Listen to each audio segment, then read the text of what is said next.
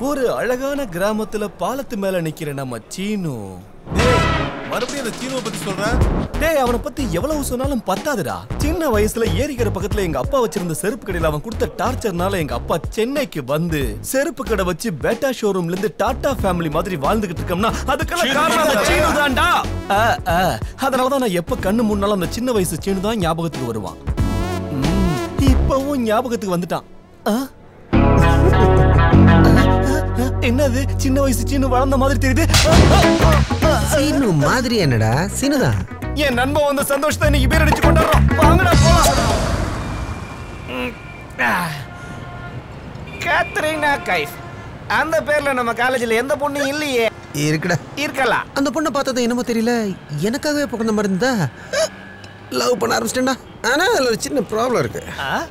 அமைதியா இருங்க. ஏய் சும்மா இருங்கடா. என் கத்திரினா கைஃபை யாரோ கல்யாணம் பண்ணிக்க சொல்லி டார்ச்சர் பண்றானா? அந்த ஆளை இந்த சிட்டில இருக்கிற பெரிய ரவுடியை வச்சு அடிக்க வைக்கிறேன்னு இவங்க சொல்லியிருக்காங்க. அப்ப நீ என்ன பண்ண? நான் என்ன பண்ண? அந்த பெரிய ரவுடி என் ஃப்ரெண்டுன்னு சொல்லிட்டேன். அந்த ரவுடியை வச்சு அவன் அடிக்க வைக்கிறேன்னு சொல்லிட்டு வந்துட்டேன்டா.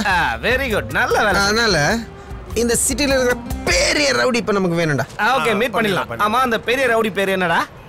அவன் பேரை என்னமோ சொன்னாலே ஜவானி கவானி திவானி.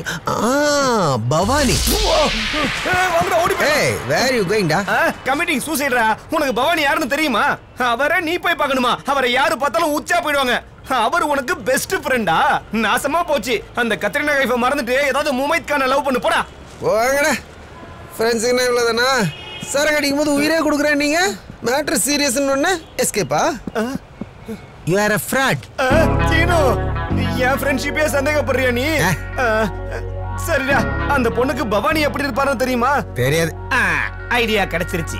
அப்ப நம்ம அந்த பவானி இடத்துல ஒரு டம்மி பவானிய செட் பண்ண போறோம். டம்மி பவானியா?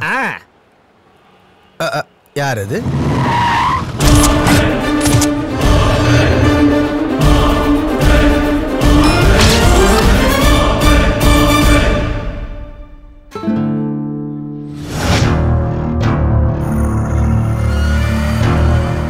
பவானி வந்ததுக்கு அப்புறம் கூட இவ்வளோ கூலா காஃபி சாப்பிடுறாங்களேடா.